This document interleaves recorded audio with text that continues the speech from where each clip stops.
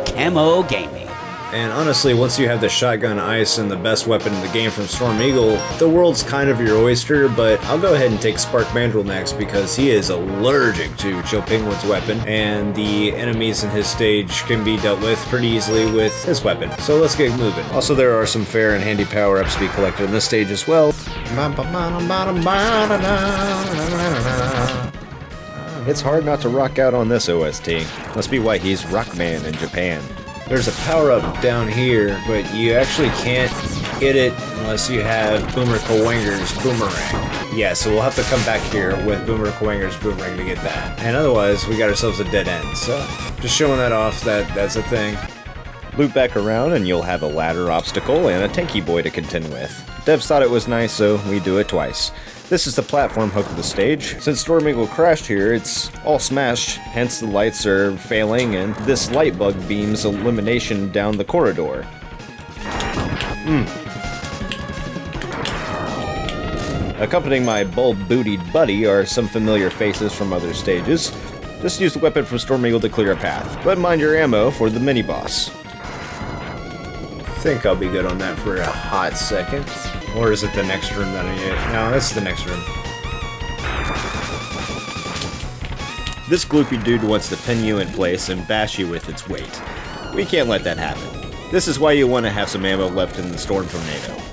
Be fleet of foot, and this clown will fold. Oh no. Oh no. There we go. Alright.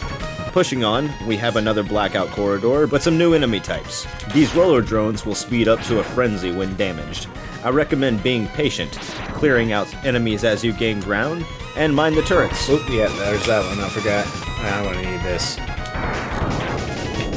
They may remind you of the turrets from the airships Super Mario Bros. 3, and those reflexes would serve you. Hike the wall and make your way to the turtle tanks. You want to storm tornado these fools. Ice works, but honestly, we need all that ammo for later. There it is. I initially passed this container up in my previous playthrough. There we go. Well, I should have used that one. But I put the footage of me grabbing it in right where you'll need it for a walkthrough. That wall jump tests you pretty well. Stop the video on the frame where I kick off to get a sense of the timing. You'll be rapidly wall jumping a second time to claim this power. Uh -huh. The final obstacle is another flickering hallway. Challenge is extended this time, but you know the enemy types. Gain ground with the Storm Tornado and go confront old Sparky. Alright, good to go. Switch to Shotgun Ice and let the Simian Maverick have it. Should have enough ice juice to get through this. It's time for his comeuppance. Yes, it's this simple. There's a bit of a timing window to perfect the stun lock, but if you're out of shotgun ice, you can rely on a fully charged buster, which yields the same amount of damage. Unfortunately, it doesn't have the same properties of the shotgun ice. Allergic. He's allergic to the cold. I think he died. Poor man. You get the electric spark! Spark, spark, spark, spark!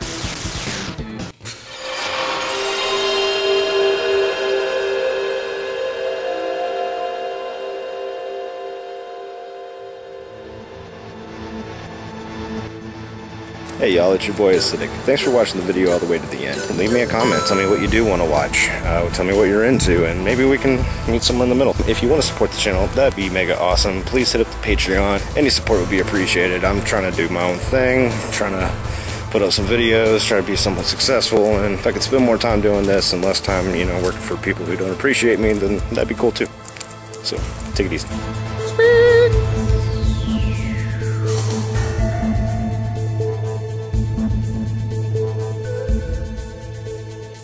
Kept you waiting, huh?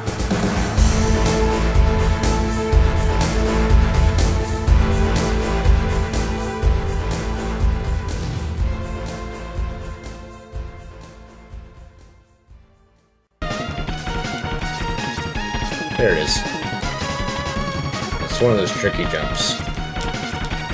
Little tricky jump action, it?